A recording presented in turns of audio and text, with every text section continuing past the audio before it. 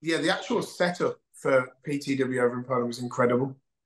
Um, it was a multiple camera shoot in a really high quality sports hall with great heating, luckily.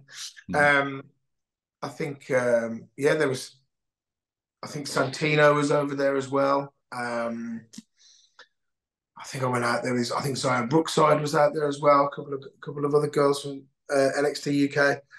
But yeah, it was it, it was a real it it was had that real solid independent show feel. It really did. Um, there's people from all over the place, Mexico, and, uh, and obviously, like I say, TNA being represented, and myself.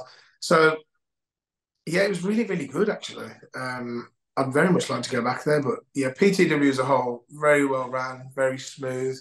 Um, I, think we had pyrotechnics. We had a little bit of little bit of extra pizzazz on our entrance entrances, some fire as well.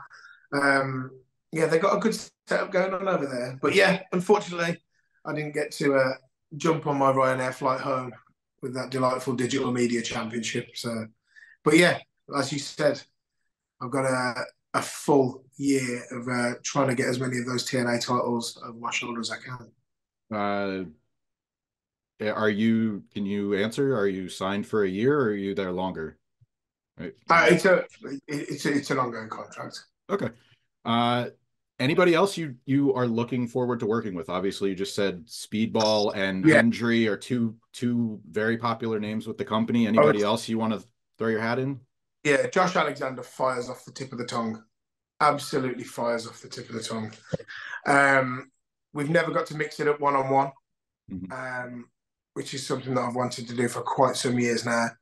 Um, and it's crazy how the world works. It's been written down on potential uh, match cards all over the world. To be honest, so there's been quite a few times where it's very nearly, very nearly happened.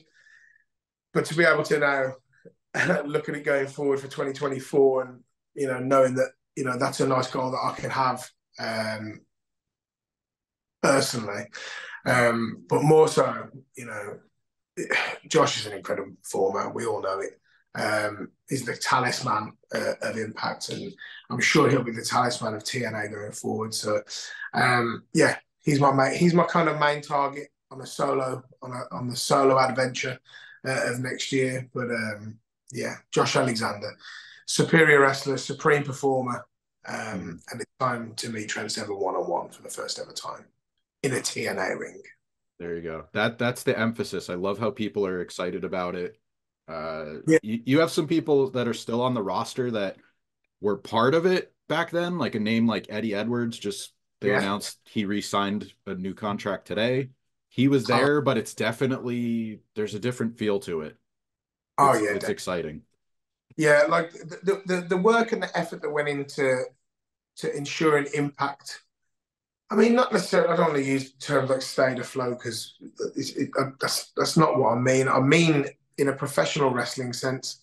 There's a team of people there over the course of the last kind of like three, four years that have really dug their heels in, I think, and uh, and to see to see them now push forward, and you know, for me personally, just be able to have the opportunity to, to come in and work under the TNA banner, you know, a lot a lot of a lot of respect has to go to that team. That over the course of the last three years, from from production to in ring to announcers to male and talent, female talent um, across the board. Uh, the company is uh, has really been held together really well, uh, and I feel like that's really given us an, a platform to to leap forward into 2024. And, and, like I say, the rebranding, the TNA logo is back on the on the on the on the center of the ring, and you know, I I, I can't I can't imagine. I mean, me personally, I'm I'm absolutely buzzing them off, to be honest, to, to get 2024 underway. Um, but yeah, there's a lot of people there that really deserve this as well, and it's going to be really cool to be able to do that journey and take that journey uh, from Impact all the way through to TNA um, to with them. So yeah, it's be an excellent little journey. I usually do a watch list. Is there a match that you would sit people down and say, "Here's the trend that you're going to get in TNA"? The trend that you're going to get in TNA. Oh, there's a couple or, of or the one that you hope to show them since you only have yeah i see what you're saying so um some of my finest work was unfortunately done in front of no one um in the old BT Sports studio. So if you want some hot, if you want some top end Trent Seven one on one action, um, there's JD McDonagh uh, from um, the BT Sports Studios of NXT UK, where I fought him for the Cruiserweight Championship. Mm-hmm. Um, a young gentleman called A Kid. Um, I fought him in the final of a Heritage of the Heritage Cup. Mm-hmm. Uh, that's one of my best performances to date in my entire career. Um, so I'll stand by that one quite solidly. Um, and then, yeah, if you want a taste of what Speedball Mountain can do, you can uh, watch a little bit of Mustache Mountain. Um, our trilogy with the uh, with the Undisputed Era is, for me, some of the finest tag team professional wrestling I've ever seen. Um, and I just feel like, you know, and I, I want to try and say that as humbly as I can. Um, it was just an honor to to be part of it. But um, yeah, that's what I'd say. That's the, that's the, the, top feud and the top couple of singles matches, and um, but you get a little bit more of a grizzled version of Trent Seven as well this year. I think um, a little bit more of a wily version of Trent Seven, um, but definitely still as goal orientated and still as focused as ever. Um, the boys are off doing their thing, and it's now time for Trent Seven to stand on his own two feet and and grab some gold. If I have this correct, you were in Transformers The Last Knight. Very, very, very briefly. Okay, so what was what was that like? How'd you like? How'd you get the role? That was that was just before WWE. Um, just before we started WWE, I um, I was working for uh, for a company called ICW. You must have heard of Insane Championship Wrestling. Incredible company up north. Um, they're kind of like on their on a new little renaissance as well, which is brilliant for to see for them. Um, and yes, so there was posters and billboards all over the place with me and Wolfgang's face on it, um, heading into this big hydro show. I think Kurt Angle was on the show as well. We sold about mm-hmm. seven and a half thousand tickets or something. It was crazy. And um, one of the um,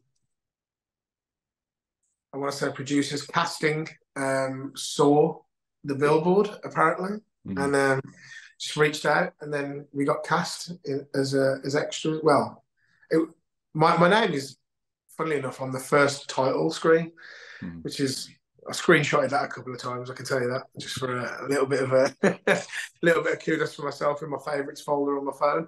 Um, but yeah, it was just a wonderful experience. Um, yeah, we we we got we got to work with Michael Bay very very very briefly on a couple of scenes, and it was, it was, was an eye open eye opening uh, week. Um, some of the so the amount of money that is in that industry and the amount of the amount of people it takes just to make it's just such a short short section of a film. It was quite incredible to be brutally honest, but um, yeah, a wonderful experience. And uh, I shared it with Eddie Hall as well, the world's strongest man. Um, we we shared a um, a hot tub every night, which was a quite wonderful conversation. Um, yeah, it was good times. It was great. I hope to. I mean, my, my, my goal in since I kind of like left school was to always kind of obviously be in the entertainment industry in some capacity. So um, it is definitely something that I want to kind of reach back into. And you know, if obviously being back in back on a lot more television screens and obviously a lot more different streaming sites with TNA. Mm. Uh, hopefully, you know that might even give me a chance to kind of reach back into that kind of uh, pool of expertise. Well, not expertise, but that pool of hope, so to speak. Um, but yeah, that'd be great. I, have always wanted to be a presenter as well, so um, mm. managed to tick a couple of those boxes recently. But yeah, um, the focus. I'm losing myself there. Um, the focus this year is is a lot of it is going to be focused on the physical side of Trent Seven. Um, you know, I've got a lot of goals that I want to reach personally and physically. Um, and I think as long as I keep my little mantra of ensuring that the fans get the best quality performance and the best quality val- the value for their money from watching me perform, uh, I think 2024 is going to be a very good year. I can't think of a better way to to wrap things up. Uh, you know, best of luck finishing Thank this year and starting with TNA. Uh, look forward to seeing what you do with the company. I appreciate you very much. Thank you very much right. indeed.